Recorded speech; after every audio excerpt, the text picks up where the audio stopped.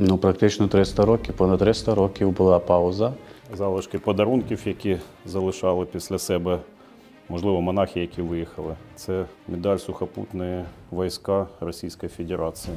То це був створений прибутковий бізнес церковним олігархам, як ми їх називаємо. І тому лавра, от протягом незалежності, і асоціювалася скоріше з успішним бізнесом, аніж з духовністю.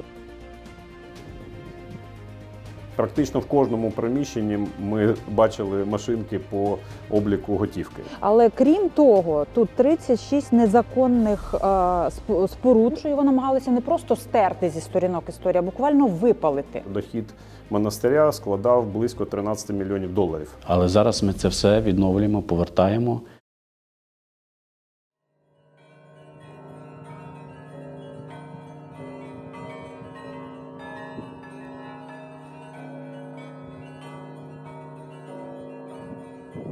Зараз ми з вами зайдемо до великої лаврської дзвіниці, яка протягом 300 років залишалася найвищою спорудою, мабуть, всієї східної Європи, а не тільки Києва. Східної Європи, так.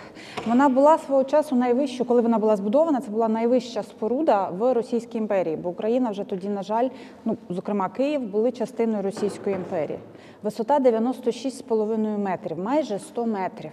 От має багатий е, класичний декор з бароковими елементами. Але цікавим фактом є те, що е, ця дзвіниця частково збудована коштом Івана Мазепи, який на той час вже помер. Подивіться, оця стіна і ось цегла, яка закуповувалася якраз коштом Мазепи. Згідно архівних документів, відомо, що він мріяв ще за своє життя звести тут нову дзвіницю, але е, не склалося. Заклав фундаменти і нову цю дзвіницю будували вже в 1731-44 роках Йоганом Готрідом Шеделем. Тут можете побачити план дзвіниці. Товщина стін нижнього ярусу складає 8 метрів. Оці те, що я сказала, тому нижній ярус у нас офіційно на ем, час повітряної тривоги це укриття. І оце саме те місце, звідки розпочався цей монастир. Майже тисячу років тому. Згідно літописних даних, перша згадка про заснування монастиря у печерах на правому березі Дніпра датується 1051 роком. Монах Антоній, родом з Любича на Чернігівщині, прийнявши постриг на Святий Горі Афон, прийшов у Київ, щоб е, започаткувати монастир. Але цей монастир не був ні першим, ні єдиним на Русі. Це став перший монастир, заснований власне монахом. Бо в той час, після прийняття християнства, більшість монастирів засновувалися за ініціативи князів та знаті. Цей монастир заснований монахом. Але княжа підтримка у цього монастиря була. З'явилася вона, відколи монастир почав дуже бурхливо розвиватися. І на поверхню із печер, де монахи спочатку жили, вони вийшли, відколи сини Ярослава Мудрого, спочатку Ізяслав, а потім Святослав, подарували два сусідні пагорби. А печери з часом перетворилися на місце поховання, де проводилися поховання печерських святих. Перші храми були дерев'яними, а перший мурований храм був Успенський собор, закладений 950 років тому. Торік ми якраз відзначили 950-річчя заснування Успенського собору, але е, тоді він називався не Успенський собор. Це вже зросійщена така назва більш пізнього періоду, 18-19 століття. Історична його назва Велика Церква Печерська. Чому велика? А тому, що храм дійсно був величний. Він за висотою був більший навіть ніж Софія Київська. І це був перший храм київського типу. І от уже довкола е, Великої Печерської церкви починається розбудова, зводяться інші храми, в тому числі Троїцька надбрамна. Ось вона. Бачите, ця зараз те, що закрита на реставрацію, ми її сьогодні оглянемо, але трошечки пізніше. І от ця церква знаходиться якраз над так званою святою брамою, проходячи крізь яку люди прагнули отримати трансформацію. Бо протягом століть намагалися всі зайти саме попід Троїцькою церквою, єдиний храм, який жодного разу не був зруйнований. На жаль, доля Успенського собору була дуже сумна. Щонайменше шість разів храм був сильно пошкоджений, і один раз повністю зруйнований. Натомість Троїцька надбрамна церква це храм кінця 11-го, початку 12 століття, який жодного разу не був зруйнований. От, до е, давніх храмів е, Києво-Печерської лаври належить також церква Спаса на Берестові. Зараз вона зачинена на е, зимовий період. Вона зазвичай зачиняється в цей час. Але церква дійсно унікальна. Можливо, якщо буде бажання, ви зможете ще влітку приїхати. Ми покажемо вам окремо той храм, бо цей храм дійсно унікальний. То була княжа усипальниця династії Мономаховичів. Саме в тому храмі похований засновник країни е, столиці країни-агресора. Юрій Долгорукий. Відзначилися в розбудові лаври е, такі державно-політичні діячі, як українські гетьмани Хмельницький, Мазепа, Скоропадський. Зокрема, ось ця церква, Всіхсвятська церква над економічною брамою. е, Вона була збудована в кінці 17 століття коштом гетьмана Івана Мазепи. І той же Мазепа приблизно тоді ж, на рубежі 17-18 століть, долучився до розбудови Успенського собору, який саме за його керування державою е, і його ктитерства в Києво-Печерській лаврі набуває таких форм, які ми бачимо зараз. От це отак, от е, коротко. В 20 столітті. Е, Ситуація з монастирем абсолютно повністю змінилася. Колись величний монастир з величезною територією в 24 гектари е, був зайнятий е, більшовиками. Монахів звідси почали відселяти, і ті монахи, які тут залишалися, ініціюють заснування тут музею. Зара- Заради того, щоб зберегти унікальний архітектурний ансамбль, зберегти цю історію, зберегти духовність. Тяжкими були часи окупації Києва під час Другої світової війни, коли був підірваний Успенський собор. Від нього вціліла одна сьома частина. От можете навіть на відео побачити. Ось тут ще один з куполів, таки має е, пошкоджену стару позолоту. Це так, щоб зверху ви побачили. Це саме ота частина під тим куполом, яка вціліла після вибуху. Все решта було в руїнах. От. Ну і як наслідок вибуху центрального храму. Були пошкоджені е, абсолютно всі споруди верхньої території, були обвали в печерах. Понад 15 років розбирали тільки руїни Успенського собору. Е, 1988 року, коли ми святкували тисячоліття хрещення Русі, було це ще ж за радянського союзу було. Було прийнято рішення про передачу частини нижньої території релігійній громаді. А в радянському союзі була одна православна релігійна громада Російська православна церква. Ну і відповідно сюди заходить український екзархат Російської православної церкви, яку пізніше перейменували в Українську православну церкву Московського патріархату. З січня 2023 року було припинено договір безкоштовної оренди монахами Московського патріархату на нижній території, і е, запропоновано їм залишити територію. Перервано е, договір про е, користування храмами на верхній лаврі з березня. Вони мусили залишити нижню територію, але зараз відбуваються судові процеси, тому ем, таким е, як законним е, чином намагаємося очистити нижню територію. Тобто відбувається повернення пам'яток нижньої лаври в державну власність. Трошки пізніше я вам покажу е, забудову, яка відбулася от на нижній території. Чому саме що стало підставою для того, щоб перервати цей договір оренди? Бо це було дійсно дуже велике порушення. Умов оренди, на яку їм надавалася, оскільки згідно цих умов вони мали право тільки проживати на території, і використовувати пам'ятки для богослужінь. А тут розгорнувся бізнес, дуже успішний. Тому лавра, от протягом незалежності, і асоціювалася скоріше з успішним бізнесом, аніж з духовністю. Зараз ми намагаємося повернути назад цю духовність, повернути лавру українцям і українців в лавру. От просто перед нами два найбільші корпуси. Вони вирізняються тим, що там на даху вікна є. Оце два корпуси новобудови. Якщо я не помиляюся, після е, 2015 року вони були збудовані. Але крім того, тут 36 незаконних е, споруд, окрім оцих великих будівель капітальних. Е, Дуже багато було мафів. В тому числі е, цех з пошиття одягу, церковний магазин, де можна було придбати від хрестиків до куполів. Отам, от біля виходу, там продавалися куполи.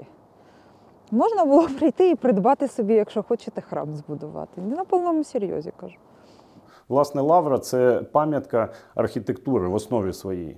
Стоїть унікальний комплекс пам'яток архітектури від 12 до 20 століття. Ну, фактично 19 століття, забудова 20-го відносно мало. І е, е, ці споруди, наприклад, вони повністю перекрили сприйняття автентичних споруд. І ви бачите, ну, на- наче симпатичні, наче такі достатньо е, естетичні об'єкти, але вони споружені в порушення всіх правил норм, без жодних археологічних досліджень, тому що ця ділянка була фактично знищена все, весь культурний шар, який зберігався тут як археологічної пам'ятки. І найцікавіше, що тут одна з споруд це овочехранилище. Місце для зберігання величезної кількості овочів, які туди завозилися. Там підземний паркінг, там величезні підземні сховища для зберігання овочів. Це в пам'ятці ЮНЕСКО. Це невеличка колекція моїх особистих е, знахідок або моїх колег е, вже ну, за останні декілька місяців, які ми знаходимо в різних корпусах лаври. Ми не знайшли там поки що жодного українського тризубу або українського прапору, але ми знаходимо скрізь такі яскраві ознаки руського міра. Ну, якщо там імператорська сім'я, яка висить на стінах і канонізована РПЦ. Да. Микола II, його дружина канонізовані, але вони тут зображені не як святі, зверніть увагу. Тобто вони зображені саме, саме як е, російські імператори. Залишки подарунків, які залишали після себе, можливо, монахи, які виїхали. Це медаль сухопутної війська Російської Федерації. Ну, що, було, що було тут, ми не знаємо, тому що це коробочка. Ну, я розумію, що було щось дуже цінне. Його вони не залишили, але коробочки відповідні. Ну, е, портрети російських е, патріархів, Кирила, в тому числі благословення Столипін. Суцільна пропаганда повністю видана або в Росії, або за російськими наративами. Почему раскольничьи группировки в Україні називаються не канонічними, українською, ну і так далі. Тобто все видано Москва, Санкт-Петербург. Частина цих матеріалів вже не, не свіжі, але я розумію, чим тут десятиліттями накачували українців, на превеликий жаль. Але е, найбільш для мене улюблена історія, коли е, ви хочете зрозуміти, чим дихає частина монахів і тих людей, які організовують діяльність е, РПЦ в Україні, як вони самі пишуть на гугловських картах. Е, Це календар на 23-й рік Києво-Печерської лаври. По благословенню Ануфрія, митрополита Киевского, всея Украины, священного архимандрита Святой Киево-Печерской Успенской лаври, при наміснике Павлі. Ключовий момент жодного українського слова. Все це виключно російською мовою. Це 23 рік. Це не та ж сама ситуація, православний церковний календар. А єдиним способом збавити мір звернення Ануфрія тут жодного слова про війну, про страждання людей, про тисячі вбитих дітей, жінок. І слово Україна в цьому календарі, що мене вразило, воно фігурує тільки в написанні статусу очільника церкви, а в тексті ви слово Україна не знайдете. І це 23 рік. А надруковано десь. Е, Це Києво-Печерська лавра, 22-й рік видано іздательство Києво-Печерська лавра. Тобто це в 22-му році, вже під час війни, вони друкують російською мовою для українців. Ну, очевидно, да, що лавру 30 років готували е, перетворити в не просто в бастіон руського міра, не просто в якийсь центр впливу, а конкретно в епіцентр боротьби з Україною, з українською ідентичністю і е, в одну з резиденцій патріарха Кирила. Це була практично офіційна доктрина і є листи. Е, Підписані в тому числі е, направлення табачника про те, щоб е, відпрацювати механізм на вимогу РПЦ і виселити за межі лаври всі культурні, мистецькі, наукові, музейні об'єкти і перетворити це фактично в єдиноосібний резиденцію власне Кирила, і щоб тут знаходилася вже повністю структура РПЦ. Лавра традиційно вже з давніх давніх часів ділиться на дві частини: верхня лавра з великою лаврською дзвіницею і Успенським собором, і весь комплекс споруд верхньої лаври, і так звана нижня лавра, де розташовувалися монастирські споруди, і печери, як найбільш важлива сакральна територія. І з 2013 року, згідно з договором, е, заповідником було передано в е, безоплатне користування монастирю 79 споруд Нижньої Лаври. Фактично, монастир запустив близько 20 інших юридичних осіб до себе на територію в порушення договору. Тобто договір був саме з монастирем, але сюди була запущена і Київська е, академія семінарія, і мітрополія, і господарчі об'єкти, і виробничі об'єкти. Тобто багато, багато того, що взагалі договором не було передбачено. Тобто е, монастирю передавалося саме для релігійних потреб. Е, Згідно з рішенням і Міністерства культури, яке розірвало договір е, з монастирем, має бути повернуті всі пам'ятки, 79 об'єктів, які розташовані тут. Частину об'єктів ми почали повертати, але в цих об'єктах забаркодувалися невідомі особи, як вони представляються. Ну, вони називають ми, ми миряни, ми молимося за Києво-Печерську лавру. Це готелі. І вони в свій час, коли монастир ще здійснював повну діяльність, монастир заселив десятки людей, всі корпуси. І е, тільки з'являлася комісія Міністерства культури або комісія заповідника, тут же всі ці люди вибігали і влаштовували картинку для російського телебачення. І е, враховуючи, що ці об'єкти були збудовані, відреставровані за бюджетні кошти, е, Мінрегіонбуд свій час е, монастирю, громаді монастиря для реставрації цих е, об'єктів виділив 116 мільйонів гривень. Це в часи, це в ті часи, коли гривня була абсолютно іншою, коли долар був по 5 або по 8. І 116 мільйонів гривень це космічні цифри, які охорона культурної спадщини і не бачила, мабуть, таких цифр. А монастирю виділялося під видом реставрації, і на ці гроші були в тому числі відреставровані три готелі, які за готівку поселялися хто завгодно. Тобто, це був створений прибутковий бізнес церковним олігархам, як ми їх називаємо, і вони на цьому заробляли готівкою надприбутки. Столярні, е, керамічні, сувенірне виробництво, магазини, е, харчування, ну фактично ресторани і кафе. Тобто, все, все це працювало в єдиному комплексі.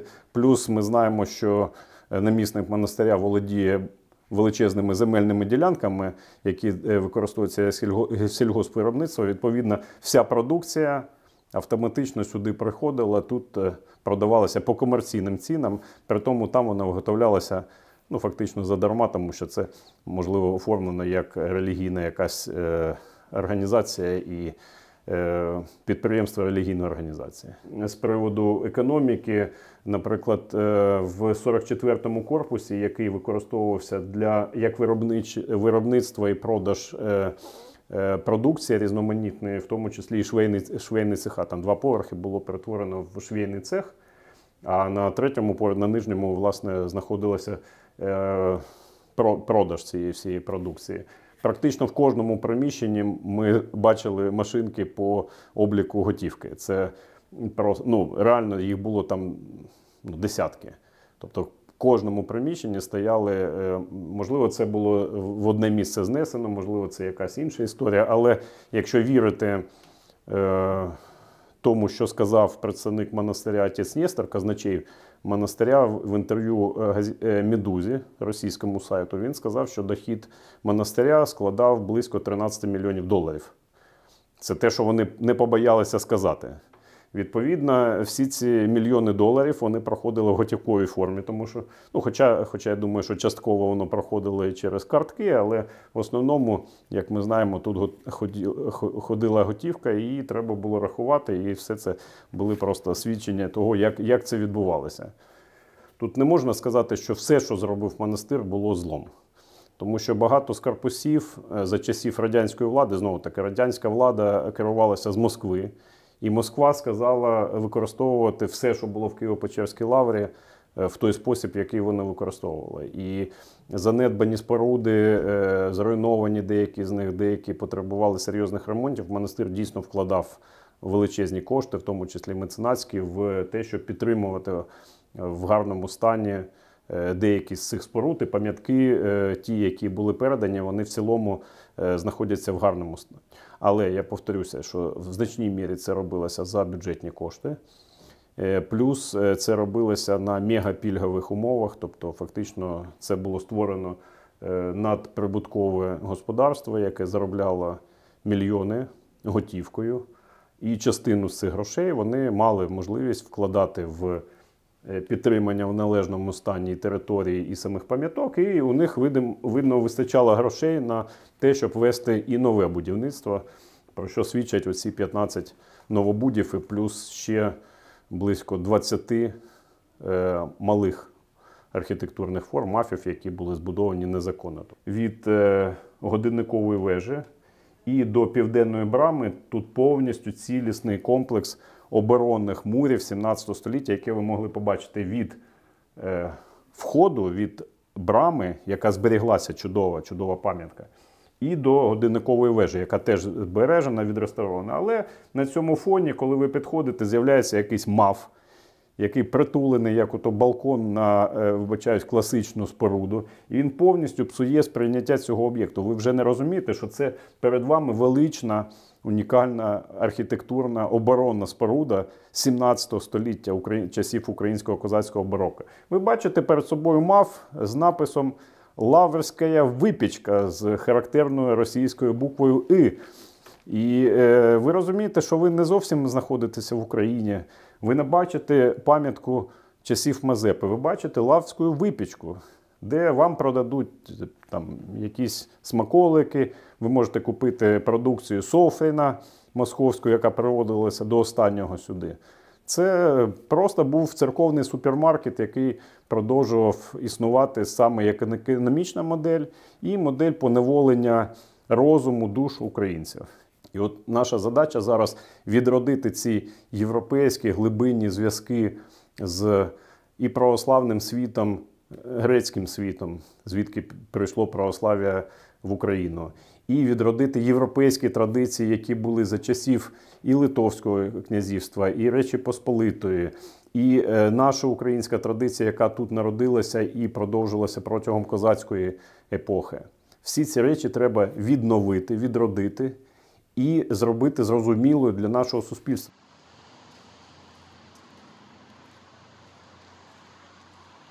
Оскільки перші ченці жили у печерах, то монастир стали називати Печерський. Києво-Печерський, тому що знаходився поруч з Києвом. До Києва тут десь було близько 4-5 кілометрів. Тобто е, південна околиця Києва це були Ляцькі ворота або Печерські ворота, як їх згодом називали. Зараз вони відновлені на Майдані Незалежності. От. А що ж таке лавра? Саме слово лавра з грецької перекладається як вузька вулиця або житловий квартал. Ось ми з вами переконалися, що це дійсно житловий квартал. Але починаючи ще з 12 століття, це слово перетворюється на спеціальний титул, який надається найбагатшим, найвпливовішим і винятково чоловічим монастирям. Тобто жіночі монастирі лаврами ніколи не називалися і не називаються до сьогодні. В Україні у нас є половина світових православних лавр три. Всього їх в світі шість, у нас їх три. Причому е, Почаївська лавра на Тернопільщині і Святогірська на Донбасі були засновані вихідцями саме з Києво-Печерської лаври. Але е, згодом, е, навіть попри те, що це був один з найвеличніших монастирів ще з часів княжої доби, княжої Русі, за часів Гетьманщини, Московія, перебравши під своє крило під свою опіку, як вони це називали, Київську митрополію, яка завжди підпорядковувалася Константинопольському патріарху, е, перетворює цей монастир на звичайний монастир першого класу. І замість півтори тисячі монахів, які тут мешкали у 18 столітті, виділяється утримання на е, 100 монахів. Всього лишень. От. І е, Лавра фактично вперше за всю історію втрачає свою ставропігію, тобто церковну незалежність. От. Але до того тут відбувалися дуже потужні процеси, е, пов'язані з тим, що цей монастир е, був е, ще і освітнім центром. Е, Дуже багато для цього зробив архімандрит Києво-Печерської лаври, митрополит Київський Галицький Петро Могила. Він же розпочав процес реконструкції Успенського собору. Давайте ми до нього перейдемо зараз. Основне, за що виступав Петро Могила, це за примирення церков. Чому це було необхідно? Тому що була створена греко-католицька церква, які намага... е, представники якої намагалися захопити якомога більше храмів і монастирів, але Києво-Печерська лавра. Е, Підтвердила свою ставропігію ще до Петра Могили. От, е, і е, було відновлено церковну ієрархію. Тобто таким чином лавра залишалася оцим осередком, звідки все розвивалося. Тобто сюди стікалися е, розуми того часу, Петро Могила зосередив довкола себе освічених людей. Він звів тут Лаврську школу, яка стала передумовою створення Києво-Могилянської академії. От, а сам Петро Могила дуже опікувався власним монастирем. І чільне місце якраз посідає портрет святителя Петра Могили. Бачите, у нього єдиного є німб навколо голови, оскільки в 96 в 96-му році він був канонізований, він причислений до лику святих. Е, І напис під ним свідчить про те, що він був і архімандритом Печерським, і митрополитом Київським, Галицьким і всія України Русі. Крім того, Петро Могила опікувався е, відновленням храмів. Він відбудовує Успенський собор, він е, е, реконструює Велику Печерську церкву, Успенський собор. Він проводить фактично перші археологічні дослідження в Києві. Він проводив розкопки десятинного храму. І уявіть собі, на цих розкопках він знаходить могилу Володимира Хрестителя. І його череп і правицю він переносить спочатку в церкву Спаса на Берестові, яку він відбудував повністю власним коштом. А згодом е, ці святині були перенесені сюди, до Успенського собору. Тут вони зберігалися аж до 30-х років ХХ століття. А потім їх забрали нібито на дослідження в Москву, ну і досі нам не повернули. Тобто, ось яка роль була саме Києво-Печерської лаври. Тут зберігалися оці святині. Е, Серед відомих особистостей, які підтримували монастир, бачимо зображення українських гетьманів. От вони Скоропадський, Хмельницький і Мазепа. До речі, коли було е, в 19 столітті знищено живопис, то е, робили копії портретні деяких е, представників е, е, ктиторів, які тут були. Зокрема, були переписані е, портрети Скоропадського і Богдана Хмельницького. Е, Зараз е, такий портрет один. Копійований 19 століття експонується у нас на виставці Бо ми браття козацького роду. Він належить до музею національного заповідника Хортиця. Спільний такий. От, але зображення Мазепи там не було. І це у нас от в соборі ледь не єдине зображення Мазепи, яке зараз є. Тобто людина, яка стільки зробила для підтримки цього монастиря, обніс е, обитель фортечними мурами, які були найпотужнішою інженерною конструкцією того часу, збудував вежі, будував храми. Підтримував всіляко. От і його зображення тут не збереглося. Чому? Тому що його намагалися не просто стерти зі сторінок історії, а буквально випалити зі сторінок історії. Успенський собор е, з давніх часів був великою усипальницею. Тут понад 300 поховань було здійснено. Ну і крім е, Острозького, тут, як я вже згадувала, знайшов е, упокоєння і Петро Могила. Теж за його заповітом він був тут похований, і поховали його під лівим криласом. Ось він лівий крилас над нами, а тут могила Петра Могили. І жодного е, пам'ятного знаку про те, що така видатна особистість тут похована, ви не бачите. Чому? Ну, очевидно, що е, представникам московського патріархату не дуже хотілося відзначати таку величну особистість. Окрасою Успенського собору є головний іконостас. Ось ви його бачите, це один з найвищих іконостасів України. Має висоту 21 метр, ширина 25 метрів. В ньому розташовані 93 ікони. Матеріал, з якого виготовлений іконостас, це деревина липи і сосни. Звісно, в Успенському соборі е, на сьогоднішній день збережені деякі е, фрагменти вцілілих руїн Успенського собору. Якщо цікаво, можемо їх подивитися. Ходімо. От дивіться, отут ви буквально можете доторкнутися до історії, як то кажуть. Оця стіна зведена в XI столітті. Це була зовнішня стіна Успенського собору. І оцей вхід це був північний вхід в Успенський собор. Вхід з півночі. Бачите, яка товщина? Майже півтори метри. Це теж оригінали так. Оце збережені от фрагменти стін, а далі ви бачите сучасну імітацію. Бачите? Це так виглядали всі храми періоду княжої доби. Це за візантійською традицією, але е, ще раз наголошу на тому, що Успенський собор став першим храмом так званого київського типу храмів.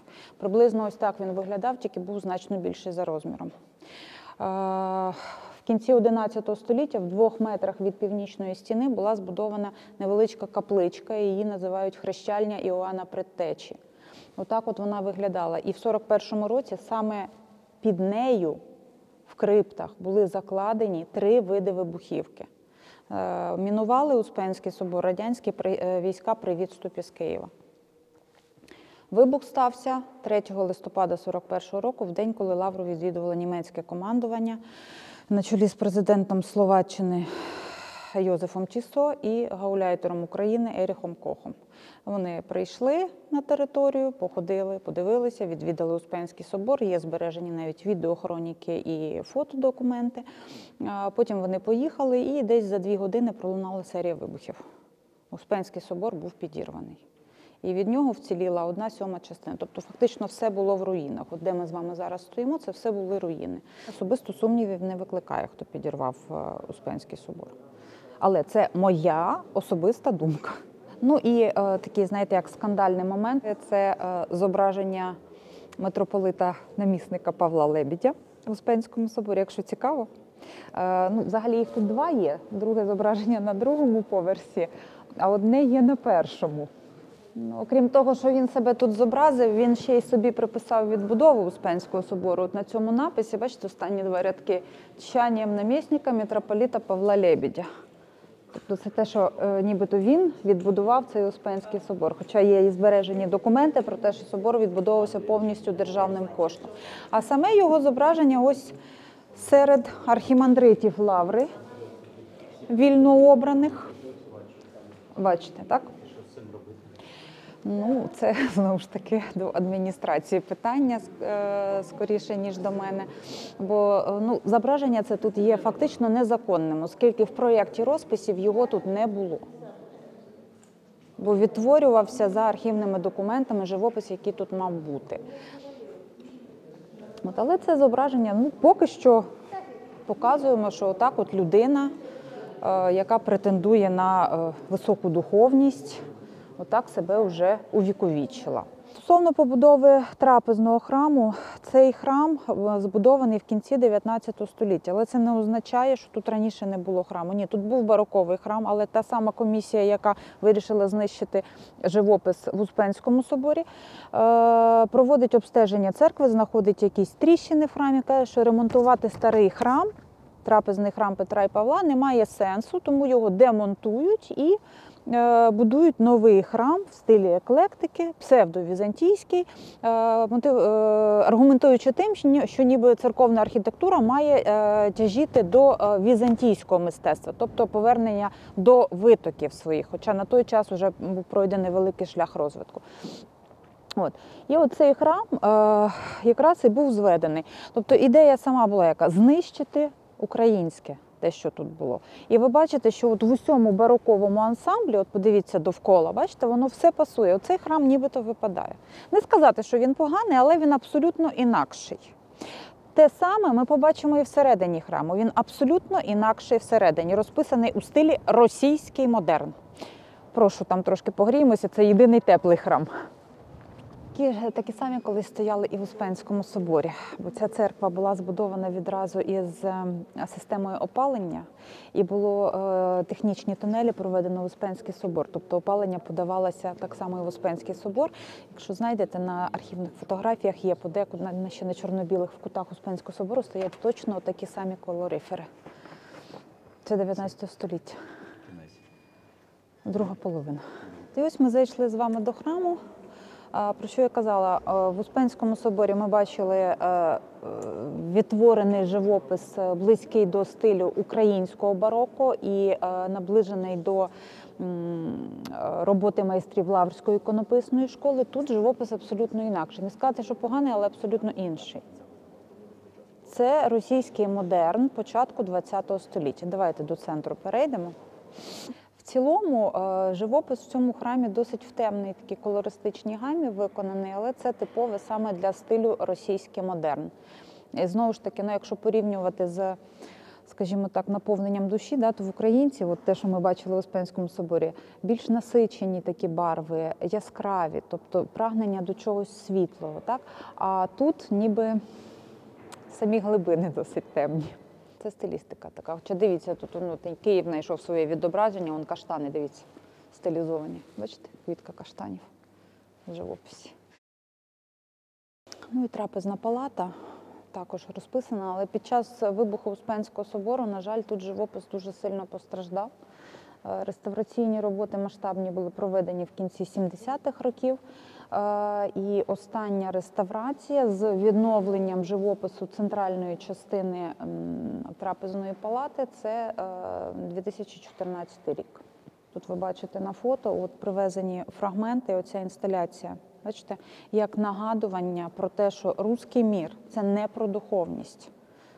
Це просто про таку от бездумну жагу до нищення всього, до чого вони можуть дотягнутися. Туристи, які зараз приходять сюди, от відвідувачі, е, от 99% вважають, що е, це дуже актуально і це е, от на часі, як то кажуть, що треба це популяризувати і показувати. У мене за весь час повномасштабного вторгнення тільки одна туристка сказала, що ну не будуть же вони самі себе обстрілювати. Я була в шоці, чесно. От там ми бачили сучасні зруйновані храми. От подивіться, як виглядали руїни Успенського собору. А оце, до речі, фото якраз з трапезної палати. Бачите, від вибуху Успенського собору абсолютно весь живопис в трапезній палаті був втрачений, фактично. Тобто він був перерозписаний. І оце статистичні дані. Бачите, по конфесіях, скільки храмів постраждало. Якраз найбільше постраждало храмів Московського патріархату. Чому? Бо їх найбільше є в Україні з усіх християнських. Буквально в кожному сквері, в кожному районі вони існували. Е, Це дані станом на 31 січня минулого року, 23-го, тобто це за неповний е, рік повномасштабного вторгнення. Ну, ще один такий, на мою думку, цікавий аргумент. Е, Хто кого нищить? Дивіться, Луганська область. 8 років, так? 8 років. 71 е, ну, храм чи сакральна споруда. Півтори місяці окупації частини Київської області пошкоджено або знищено 70 і 10 в Києві е, сакральних споруд. Вісім років і півтори місяці. Ну, це як наочно просто людям показати, що відбувається.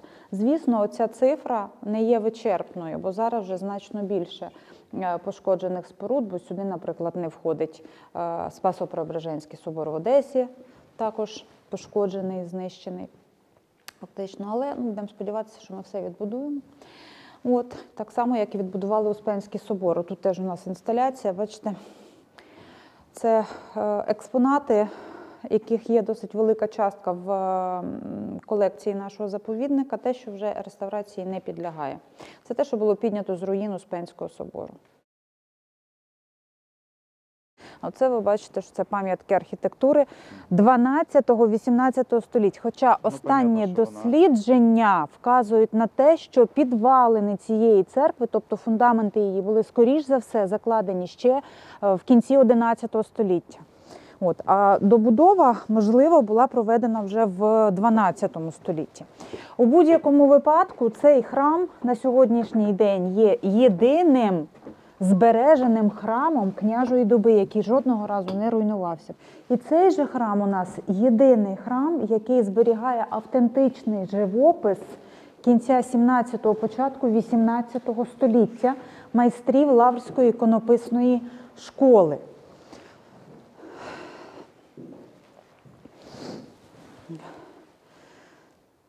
І от для порівняння, те, що я в Успенському соборі вам казала, що для відтворення живопису було зроблено, де, проаналізовано детально живопис, е, в тому числі і Троїцької надбрамної церкви. Подивіться на яскравість барв.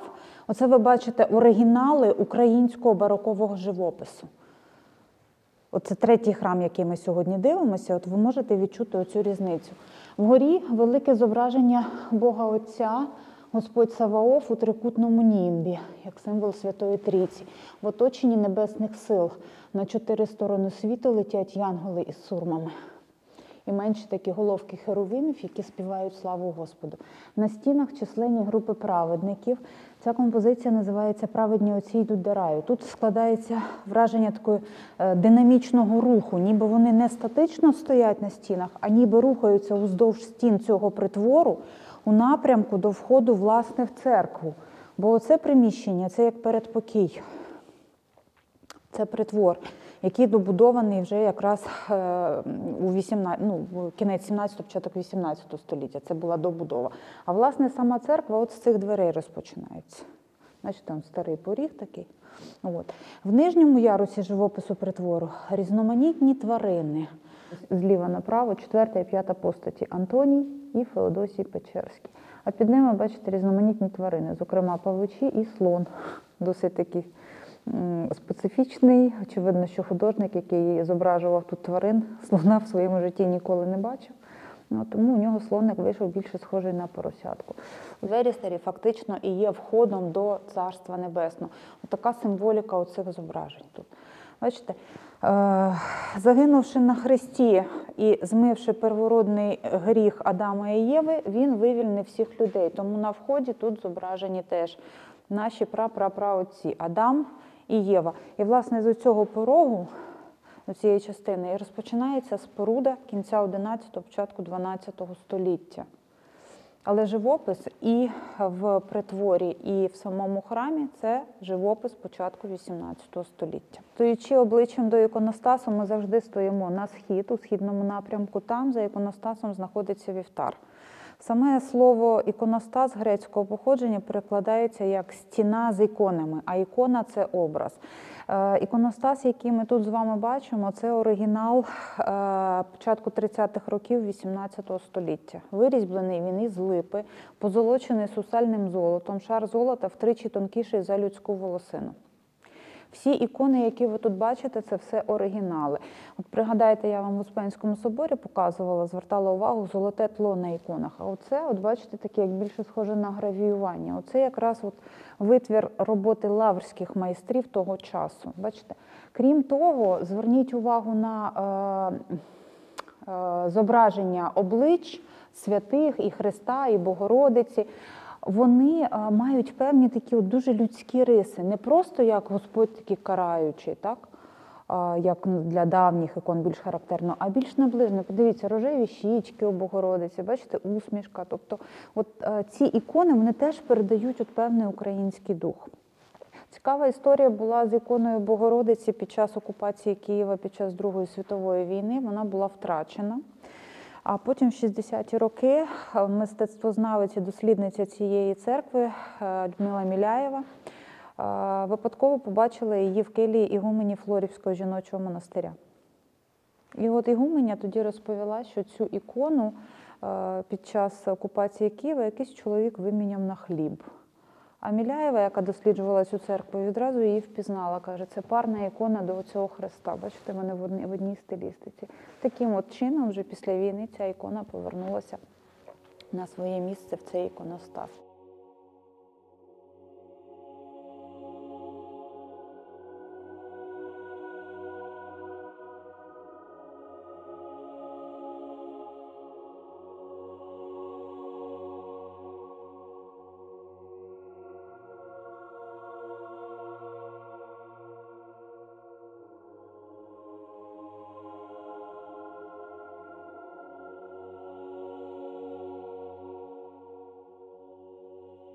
На сьогоднішній день в Успенському соборі богослужіння е, проводять уже представники Православної церкви України. Е, Від себе хочу сказати, що дуже приємно, що нарешті е, в одній з головних православних святинь України звучить молитва українською мовою. Ну, практично 300 років, понад 300 років була пауза від того часу, коли Лавра знову ж таки повернулася. Ми повторюємо, ми завжди наголошуємо, що ніхто ні в кого нічого не забирає. Ми повертаємо те, що в свій час було втрачене. Е, на жаль, е, люди, е, які є зазомбованими, звикли до того, що скрізь і всюди волають, голосять про так звані гоніння, які, яких абсолютно немає, і ніхто нікого не переслідує. Переслідується за що? за те, що вони підтримують оцю ідеологію руського міра, що вони прикликали цю війну сюди. Адже Путін у першому своєму зверненні так він же ж наголосив, що е, вони будуть захищати інтереси прихильників московського патріархату. Це було явно сказано ним. І зараз, як ми бачимо, е, ці люди будуть до кінця триматись, е, до кінця говорити одне, нібито ми українці, нібито ми допомагаємо українській армії, але е, ну, це вимушено. Все робиться вимушено, тому що вони зрозуміли, що щось потрібно робити. На початку війни абсолютно цих речей ніхто не робив. Але коли зрозуміли, що якщо вони не будуть нічого робити, то е, відносно, е, ну, я думаю, держава б жорсткі міри прийняла до них. А так зараз така картинка, що наче вони допомагають армії, допомагають українцям, але то дивно спостерігати, тому що тут допомагають, а тут вбивають. Е, Зокрема, виявлення нових і все нових серед їхнього середовища колаборантів, які співпрацюють з агресором. Про що це говорить? Багато про те, що не відповідає дійсності тим речам, які вони озвучують. І те, що повторююсь, вони зараз говорять, що забирають святині, ніхто нічого не забирає, а повертається е, святиня до українців, повертається святиня до свого дому, де не будуть е, тут е, зустрічати, як це мало бути, так званих освободітелів, а будуть зустрічати своїх українських героїв, новітніх героїв. так. І загалом Святоспенська Києво-Печерська лавра в свій час, як ми знаємо, вона вела широкомасштабну просвітницьку діяльність, е, місіонерство, милосердя, благодійність. е, І, власне, в цьому е, наше завдання відновити лавру такою, як вона була за часів преподобних, такою, якою вона була за часів святителя Петра Могили, котрий в свій час е, надзвичайно вагомий внесок вніс в розвиток лаври, такою, якою вона була за часів гетьмана Івана Мазепи, котрого, як ми знаємо, анафематствувала російська церква. Е, Але зараз ми це все відновлюємо, повертаємо. І це дуже, дуже важливо для того, щоб українці усвідомили, що ми не, нам не 30 років, як думають, що нам 30 років нашої незалежності. Україні тисячі років. Ми маємо це коріння, і Лавра це прямий доказ того, що це було. І Росія, розуміючи це, вона з цим бореться, бореться системно, бореться. Використовуючи неймовірні ресурси, е, бореться, використовуючи підкуп, корупції багато інших способів, все, щоб знищити е, взагалі зародки української ідентичності в Лаврі. І це, це відбувалося десятиліттями, століттями, і це продовжується зараз. І ви можете знайти інтерв'ю чи заяву Наришкіна, голову служби зовнішньої розвідки, що захист Руської Києво-Печерської лаври є одним з е, однією з підстав про- продовження спецоперації. Сьогоднішні ракети, які от годину назад летіли на Київ, одна з задач їх, е, щоб українці віддали лавру. Це, це пряма, пряма задача, вони не бояться про це казати вголос. А ми продовжуємо, е, ну, скажімо так, вести е, надзвичайно оборонну, скажімо так, е, війну в цьому в духовному напрямку. Нам треба е, повертати своїх святих, нам треба повертати своїх героїв. І суспільство має не просто знати, що такі були, а розуміти, яка їх була місія, стратегічна місія в контексті нашої тисячолітньої історії. І тоді у нас з'являється той фундамент, що ми розуміємо, що ми теж частина цього важливого шляху. Але ми не перекети поле, ми не е, невідомо, що ми є прямими нащадками цієї історії.